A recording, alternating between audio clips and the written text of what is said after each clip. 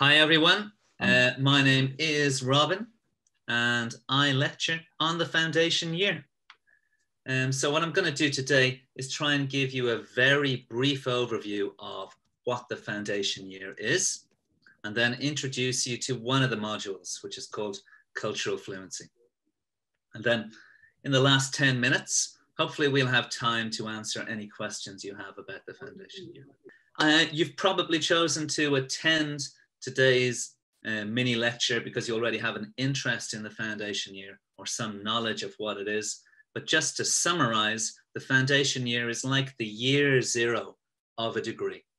So on the foundation year, we try to introduce you to the range of subjects that we teach in SOAS and to give you some kind of background in terms of knowledge to those subjects but also really help you to build the academic skills and the confidence you need to be a great student. Um, you don't have to choose the actual pathway in terms of the degree you want to study until the end of the foundation year. So if you're someone who knows that you really want to take a degree, but you're not quite sure yet in what direction you want to head, that could be useful for you to know.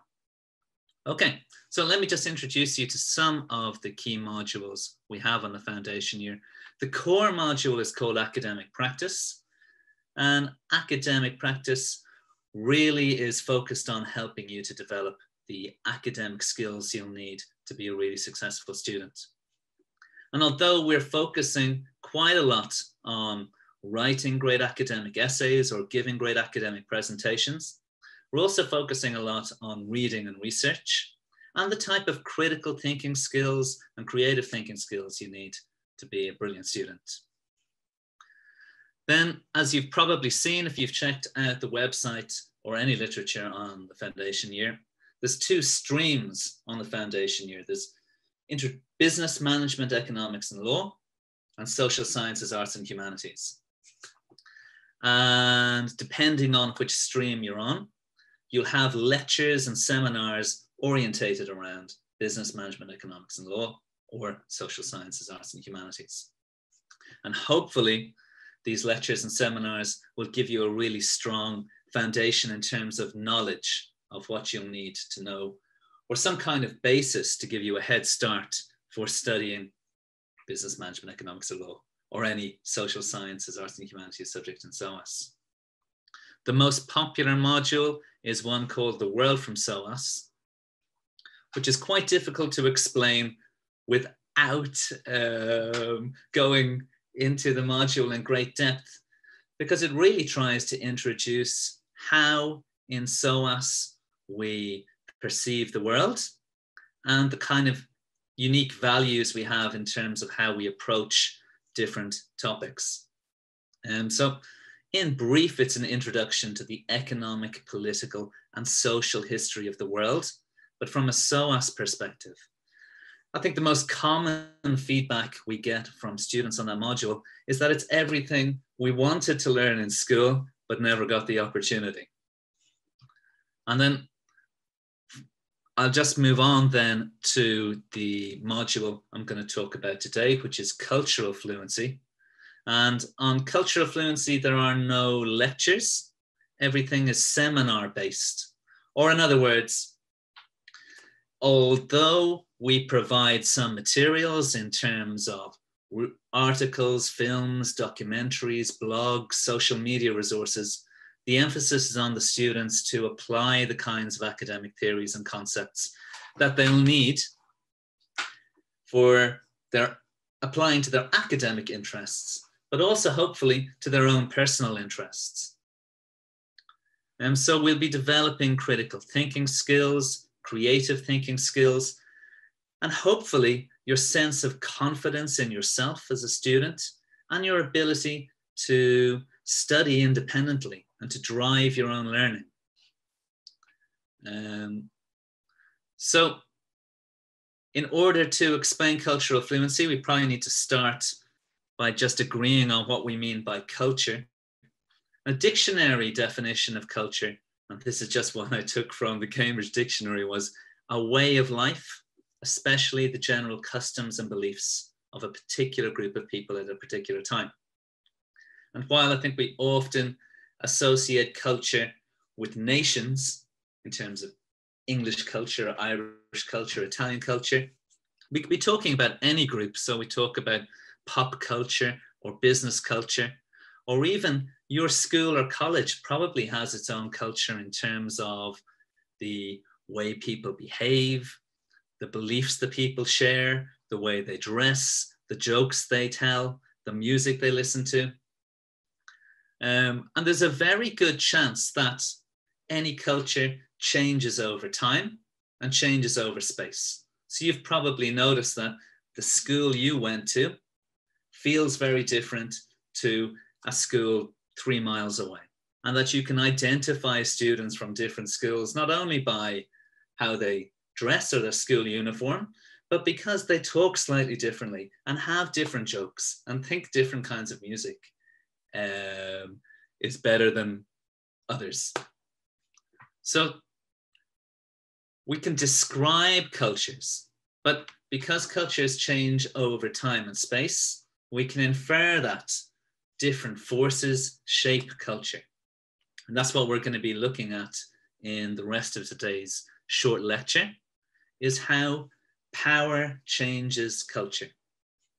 So just as a very quick example of that, probably the majority of films you've watched in your life have been from America and from Hollywood. Um, and if certainly if you go to the cinema uh, in Britain, the majority of films will come from the United States. But Nigeria make great films, Korea makes great films, Argentina makes great films.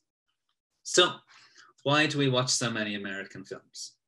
the answer is really simple there. That is just the economic and political power of the US gives them not only the financial clout to make very big budget films, but also to control distribution, to establish um, strong links with other elements of American culture, such as through TV, music, they're interlinked as a kind of cultural power.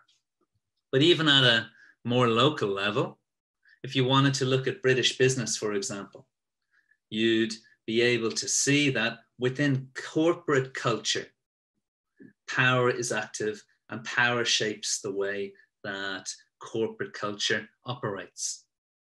So if you just want to look at FTSE 100 companies, who has the power? Well, only 5% of CEOs in FTSE 100 companies are women. And even if there are increasing numbers of women on boards um, or on board of directors, what kind of values predominate in those boardrooms? Well, if those boardrooms are dominated by males, certain types of behaviors and certain kinds of values will most likely predominate, while others might not. Um, what do these men who dominate UK companies look like? Well, 69% of FTSE 250 companies do not have any BAME directors. So it's predominantly white, male from similar socioeconomic backgrounds. Now, we might think that this doesn't matter very much, but these power relations are obviously going to shape people's opportunities in life and the way we feel we can behave in certain cultural situations. So if uh, FTSE 500 companies are dominated by white males, this means that certain groups of individuals are more likely to have access to power and others will find it more difficult to enter certain jobs or to gain equal rights or have access to promotions or certain entitlements. So power relations shape culture and these power relations influence our lives. And what we're going to do now is have a think about how power relations might influence education. And in fact, the first assignment on cultural fluency is to give a very short presentation analyzing the power relations in any subject you've studied.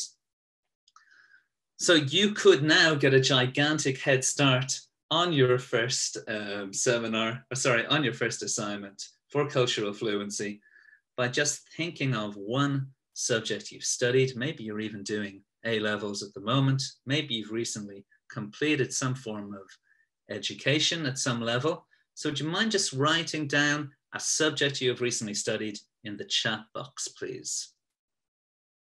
Any subject at all. Literature, history, economics. All the way through, I heard a brilliant presentation yesterday on geology, um, and economics, maths. Okay, and what we're going to try and do then over the next 15 minutes or so is identify or introduce a number of academic theories that we could apply to our own education and see what we've learned about power relations. Because maybe once we've identified the power relations within education, our own education, we'll be able to think about how we can change that education system because obviously the education system really influences culture and our lives. Okay, so the first one is really obvious, which is patriarchy. Um, so patriarchy is male power, as you already probably know. But when we're looking at it in cultural fluency, we'll probably try look more at the complexities of male power.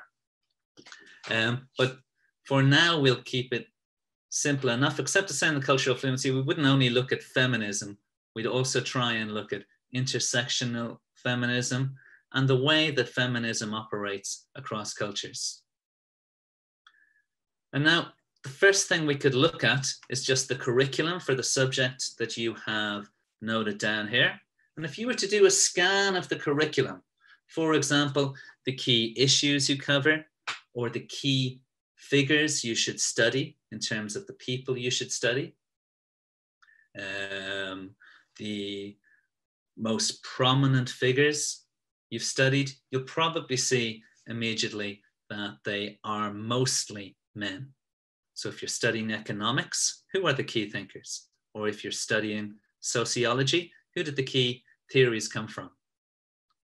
But you might also want to have a look at when women are represented, how they are represented. So it's true that we might see women represented in a history curriculum or, well, history is a good example actually. So in history, we might cover or be introduced to the story of Florence Nightingale or Anne Frank, maybe. But what if all the women that feature in our education are represented as being carers or victims?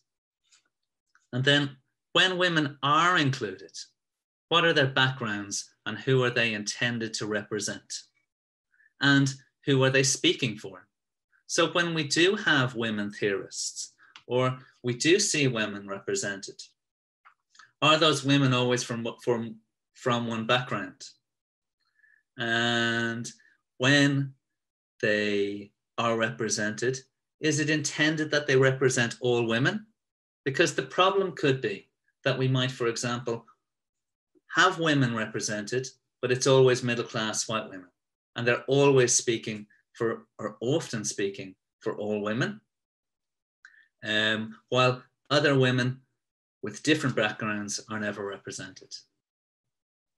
And if male power dominates education systems, what ideas and values about the world are being reproduced? So, if you think about your history textbook, if the history textbook was written from a point of view that challenged patriarchy, would there be such an emphasis on war? And would the language and narrative of the history textbook have such an emphasis on certain values that were considered heroic? For example, great leaders or war heroes, etc. So the other way to consider how our education might be shaped in relation to patriarchy has to do with just gender and what it means to be a man or woman. So from our education, what feedback do we get on who we should be aspiring to be in terms of how we um, perform as men or women? So, what does it mean to be a normal man or a normal woman? Um, is there space to consider different experiences and different possibilities of what it might to be a human that doesn't satisfy traditional gender norms or gender roles? So, what would society look like if we had an education system that wasn't accepting of patriarchy or reproduced male power again and again, but instead challenge traditional assumptions about gender and heteronormativity? Now, moving on to the theme that we would actually start the module with, which is nationalism. Um, and the first article we look at on cultural fluency is one by Benedict Anderson, who asks, how come we think of the world as being divided into nation states rather than us all being united as human beings? But yet it now seems so natural when we turn on the TV and watch the Olympics, or on Sunday morning, the baking program we watch is called the Great British Bake Off, that we are all divided into a world of nation states with separate and very distinguishable um, characteristics and cultures. So, just as an example of how strange Anderson thinks it is that we're divided into nation states. He asked, how come we feel that we share a great affinity with everybody within the borders of the territory we live in that we call a state when we've never met them? So, how come somebody who might work in a car factory, maybe in a big city like Manchester, feels they share a deep connection with someone who might be a farmer in somewhere rural like Cornwall. Uh, how come the farmer from Cornwall probably feels a much stronger connection with the factory worker from Manchester than a farmer from Normandy or Kerry? Well, Anderson says that this affinity or connection we feel with other people inside our nation can't be natural. It needs to be something constructed or a feeling that we learn to have through living in society and being educated to feel that everyone within a nation state has some very strong bond. And it's, I think nationalism is so ingrained in who we are, we find it hard to imagine that once nation states as they are now never existed. So if you think of Italy and Italians, you probably imagine them to have a really deep um, historical connection. And that's why we get the feeling that Italian culture is so identifiable and distinct. But Italy was a collection of separate kingdoms until 1861. So if you want to look at a map of Italy from 200 years ago, it's not there. It's a collection of many smaller kingdoms that only became united 150 years ago. But sometimes when you make that argument, others argue that although states are something modern or something very recent, the cultural connection that underpins those states is something that has existed for a very long time. So if you take France as an example, you might say France is a modern state, but the culture of France existed before the state. But historians have shown that that's probably not true. So, according to the historian Eric Hobsbawm, at the time of the French Revolution, 50% of the people in France did not speak any French at all, and only 12 or 13% of people spoke French. So, how did France generate such a strong sense of everyone within its borders sharing the same culture and being unified in some way? Well, I would argue that a great part of that is through education. And if you want to have a look at your own education, you'll probably see that through much of, or through many of the subjects you've studied, the idea that nation states is not na- are natural is never questioned. But if you look at subjects like history or literature, you'll see a story of the nation being told that encourages you to believe in the inevitability of the nation and nation and nation state. So if you just look at your history textbook, what wars are being celebrated and what figures are being considered great?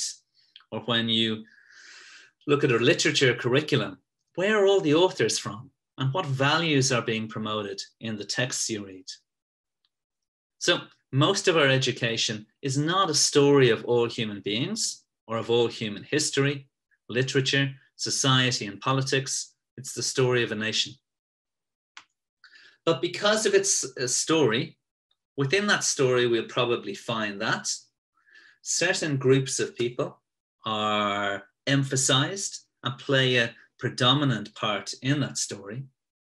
But some groups might have their role minimized or not represented at all. So, where is the experience, for example, in your British History A level curriculum of those who suffered or were displaced or were enslaved or died as a consequence of British imperialism? Or in the tale of 20th century Britain, where are the Black people? Where are South Asian people? Where are British Muslims? And what does this lack of representation of some groups tell us about who is valuable to the nation and who belongs? And how would this then influence society? And then the final part, um, or the final section we're going to look at today is colonial thought and the influence of colonialism on our education. So I just mentioned nationalism in the last section and how the facts of what happened during the era of British colonialism may sometimes be overlooked. But what I want to focus on now is not physical colonialism itself in the 18th, 19th, and early 20th century, but the legacy of colonial thought. So in seminar two in cultural fluency, we'd have a look at a theorist called Edward Said, who shows how in the 18th and 19th century, Europeans were developing an idea of themselves as being modern, scientific, progressive, and advanced. And then it served Europeans to think of non Western cultures as being traditional, primitive, backward, and timeless. So that non Western cultures were like a mirror. So that just as when you're uh, an insecure teenager in school, it makes you feel good to present someone else as being bad. It served Europeans to think of non Western cultures as being inferior to them. So Western European cultures were rich, sophisticated, complex, and in contrast, then, non European cultures were um, simple, homogenous, and timeless. And that's why Europeans could talk about great expanses of territory as if they were all the same.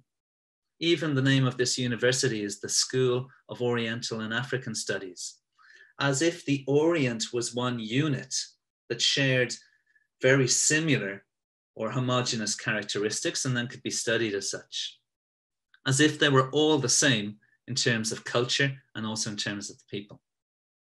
So, what we're talking about here is a hierarchical way of viewing the world, with Europe, or at least Western Europe, being supreme, and then other regions being viewed as not only inferior, but that Western Europe should be the model for those non Western European cultures. So physical colonialism is over, but be interesting to look at your own studies and think, to think about what assumptions from colonial times remain. So when you study societies and sociology, what kind of societies are considered the norm? Are they always Western cultures? When non-Western cultures are presented, are they presented as being equal in terms of sophistication and complexity as Western cultures? Um, whose thought about societies is considered most important? Are there only Western sociologists on your sociology curriculum? Or when you study economic development in geography or in economics, who is considered developed and why? And who is third world or underdeveloped? And how are they presented in comparison to the West? And who are the forces who can drive or promote development? Can non Western cultures drive their own development? Or do they need help and assistance from the West? And why would that be? Or when you study art, whose art is considered classical or surreal or abstract? And whose is considered to be perhaps not primitive, but of more historical or anthropological value.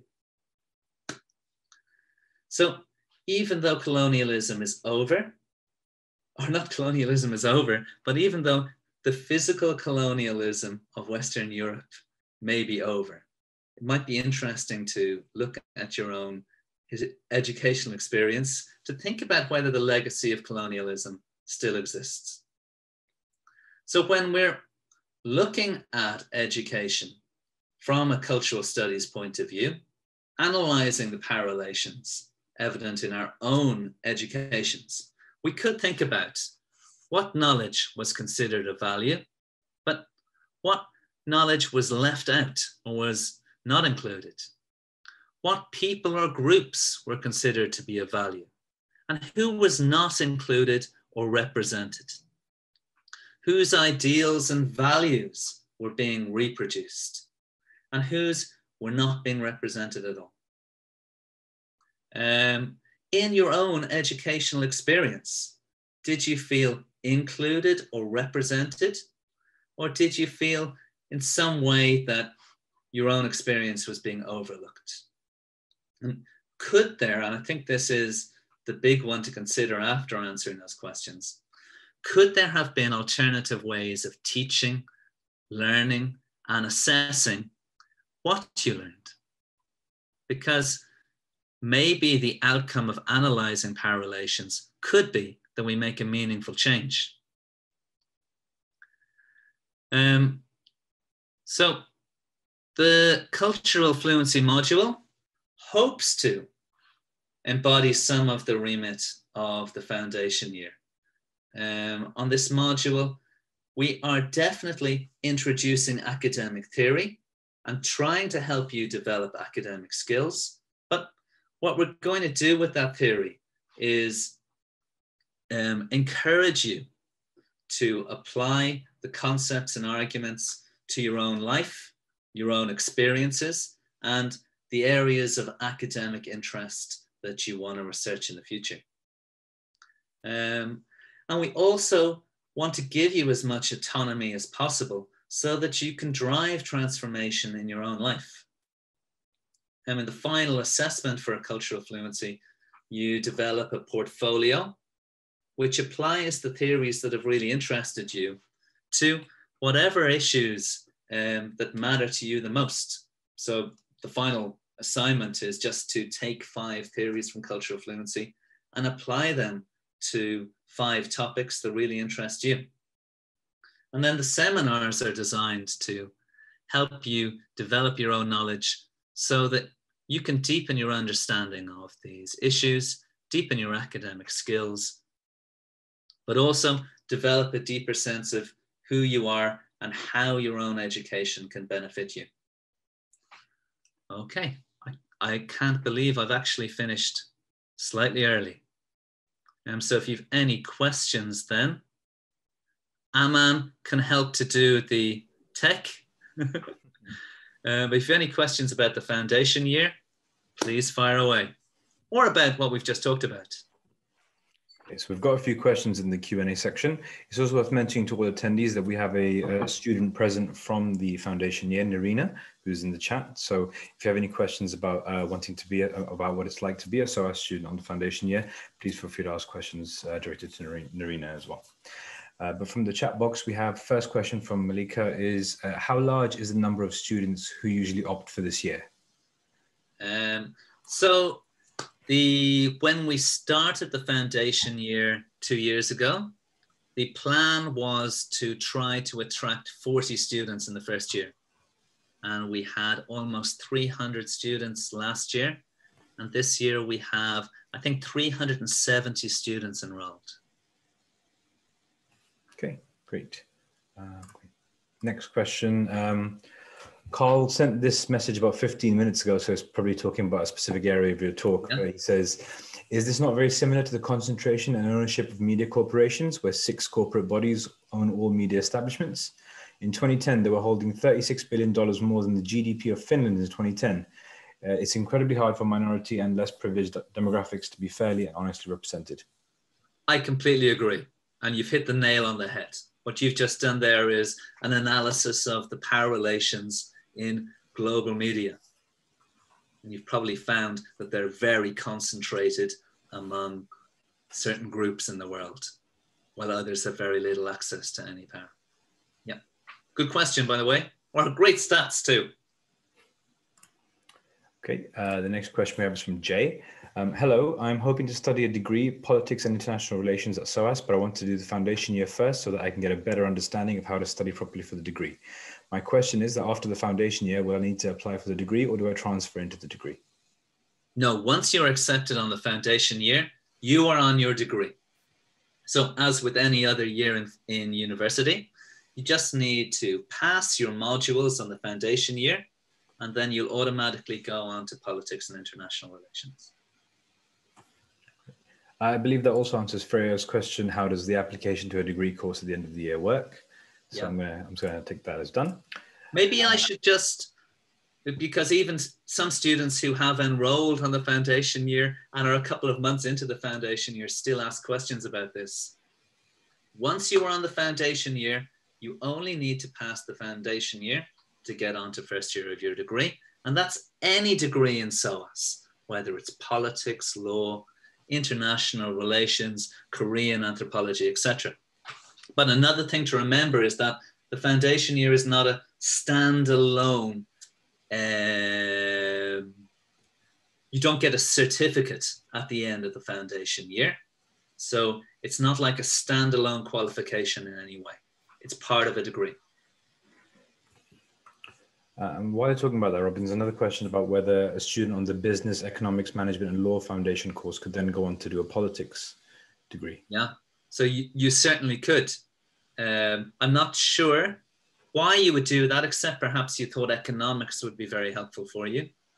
But you absolutely could do that. And I think what we find is that as the year progresses and you develop more awareness of what SOAS is like and of what different subjects are about. Certainly, when I came out of secondary school, I had no idea what anthropology was or what international relations actually involved studying. But on the foundation year, you'll learn more about different academic subjects, and maybe you'll develop your interests and change your mind. So I would be hoping students will change their mind as the year goes on. And as I said, whether you're on BML or business management, economics and law stream, or the social sciences, arts and humanities stream, you can choose a degree from anywhere on SOAS.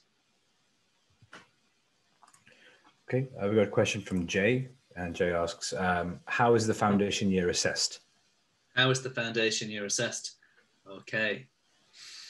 So you have on the foundation year a core module, academic practice, which runs for the entire year you have a core module or a module that continues throughout the year called, which is your introductory course to business management, economics and law, or social sciences, arts and humanities.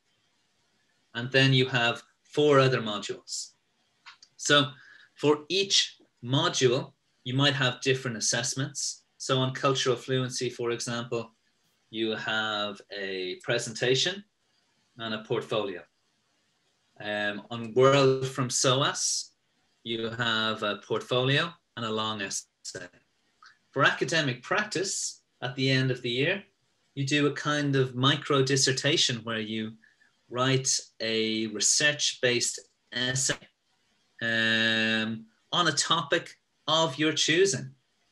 But in general, the majority of the assessments will be essays because we're trying to train you to write fantastic academic essays because when you go on to your degree, that will be the most commonly way that you're assessed. But assessment overall, over the entire year, you can expect to produce portfolios, presentations, different types of reports and essays.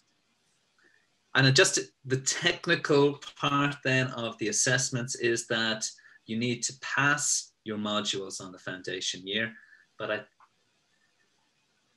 or you need to get a certain amount of credits. So you'll need to pass your modules, but if you were to not pass a module the first time, you can resit in the summer. Great, thank you. Uh, a similar question, I guess, is is this course taught through lectures mostly?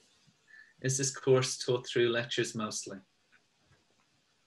Through, I think in your 10 hours or your 10 contact hours a week, you would have two hours of lectures. Yeah. So I would say you'll spend more time in seminars with with the lecture, but with the emphasis being on you contributing um, your own ideas, your own reading, and discussing ideas and issues and arguments with your classmates. Great, thank you. Uh, an interesting question here is uh, Do you believe that Western culture will ever evolve from patriarchal domination due to the fact that globally other cultures have been westernized through patriarchal ideals, making it harder for minorities to be heard or even accepted? Mm. I mean, the, the, the short answer is that I can see things changing very slowly in the environment I live in the United Kingdom right now, and also in Ireland where I grew up. And I also lived in, in Korea, Thailand, Argentina, and Ecuador in my 20s. And I've seen changes in terms of not only equality in terms of gender, I think there's also a global growth in awareness about equality and issues of representation to a huge extent because of social media and access to information. But I mean, whether we will see a dramatic change in my lifetime, I don't know. I actually don't know how to answer that question. Yeah. But very good question. Maybe we should try, would be uh, the best answer I could give, maybe. Okay, great. Uh, next, uh, should I take AS or A level exams uh, for the foundation year or any other exams such as proficiency in English? Well, that would depend on the background you're coming from. I'm taking it, you're, are you studying in another country? If you haven't got A levels or A, AS levels? Um, I will see if I can unmute them.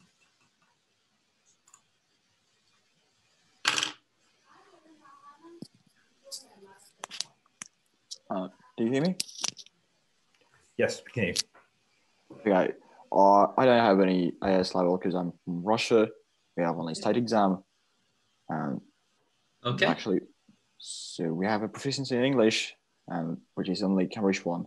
And I got an FC exam recently. I passed it. So, okay. on, so uh, do I have to pass another uh, exam such as CP or IELTS or something like that?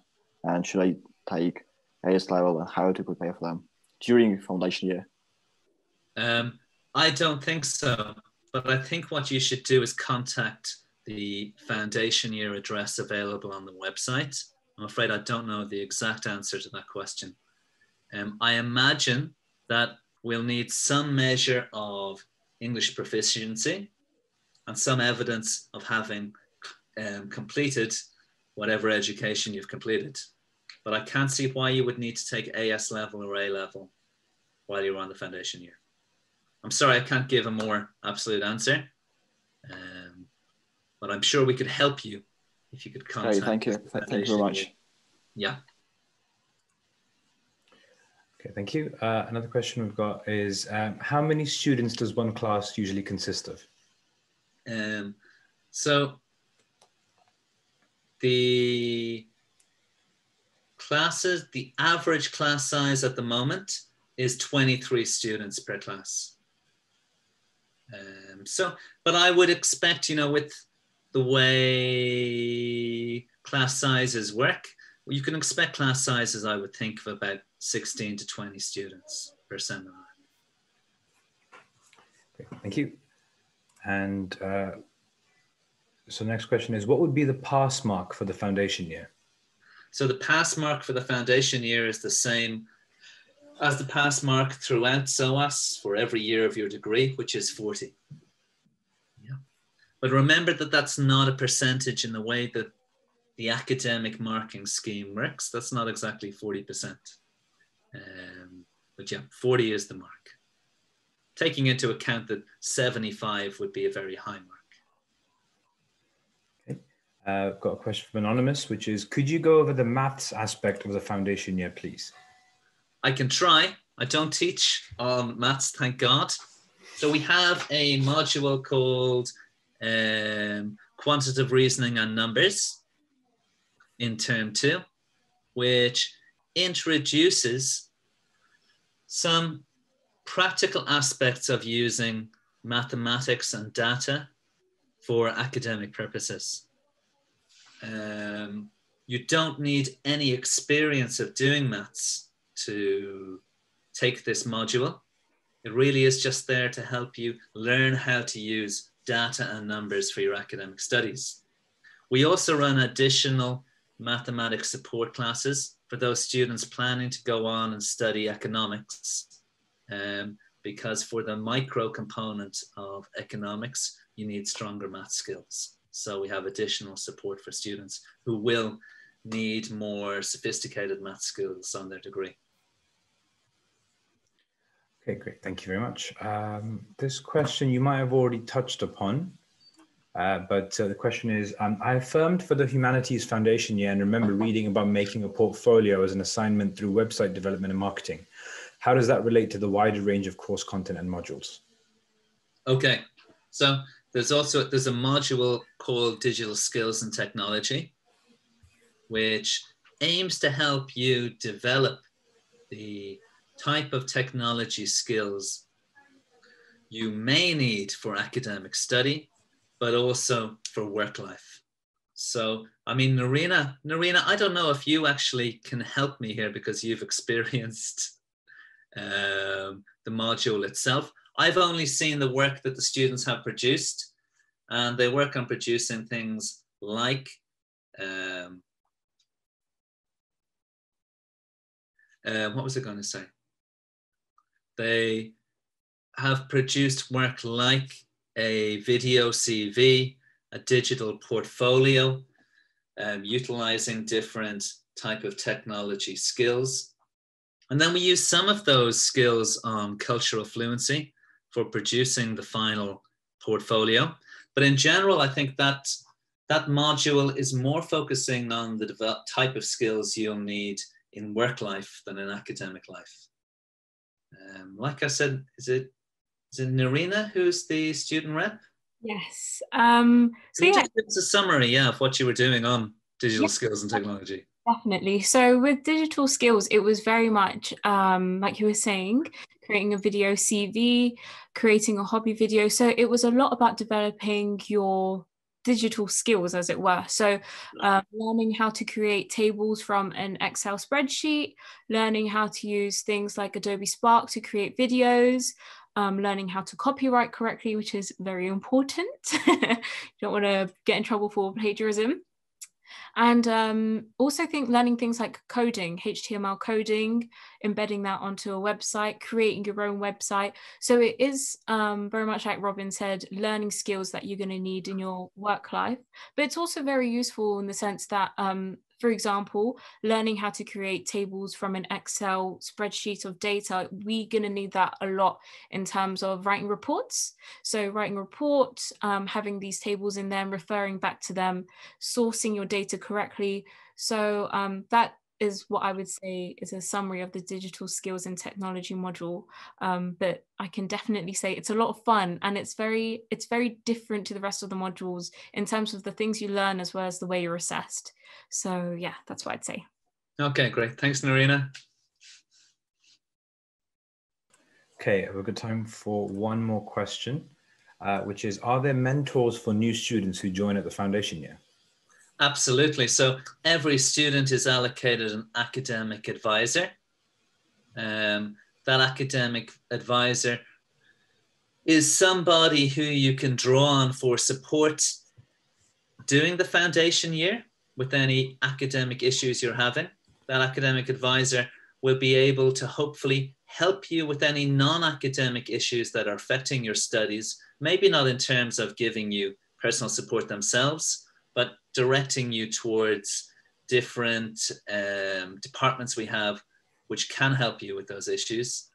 And also, the academic advisor then should be able to help you moving forward in terms of maybe the degree choice you want to make or the skills you feel you'll need to develop to handle your degree. Great.